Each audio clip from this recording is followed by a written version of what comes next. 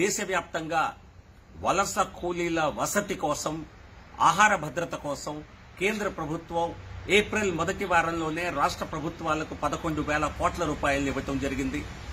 అలాగే కొత్తగా ఇచ్చిన ప్యాకేజీలో ఎనిమిది కోట్ల మంది వలస కార్మికులకి వారి కుటుంబాలకి ఉచితంగా మరి గోధుమ బియ్యం లాంటివి ఇవ్వాలని చెప్పి రేషన్ కార్డు లేకుండా అయినా సరే వారికి ఇస్తామని చెప్పి కేంద్ర ప్రభుత్వం ప్రకటించింది.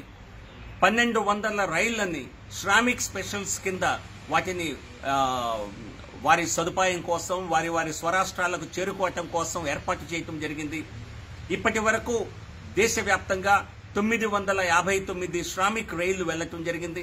అందులో ఐదు వందల ఇరవై ఆరు రైల్ ట్రైన్స్ కేవలం ఉత్తరప్రదేశ్ రాష్ట్రానికే వెళ్ళాయి మరొక రెండు వందల డెబ్బై బీహార్కు వెళ్ళాయి కాంగ్రెస్ పార్టీ తృణమూల్ కాంగ్రెస్ జార్ఖండ్ మోర్చా ఎవరైతే ఎక్కువగా మరి వలస కార్మికుల కోసం మేము పనిచేస్తున్నామని చెప్తున్నారో ఆ రాష్ట్రాల్లో వారు ట్రైన్స్ని అనుమతించడం లేదు. వలస కార్మికులు వారి రాష్ట్రాలకు వెళ్ళటానికి వీరు ఒప్పుకోవటం లేదు. నిర్లక్ష్య వైఖరి ప్రకటిస్తున్నారు. సో ఇటువంటి సమయంలో వేల మంది వలస కార్మికులు ఆ రాష్ట్రాలకు చెందిన వారు కాలిబాట పట్టారు.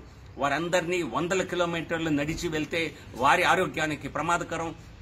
వారందరినీ వారించి వారికి షెల్టర్స్లో ఏర్పాటు ఏర్పాట్లు జరిగేలా తీసుకోవాల్సిన చర్యలు ప్రజా ప్రతినిధుల బాధ్యతగా గుర్తించాలి.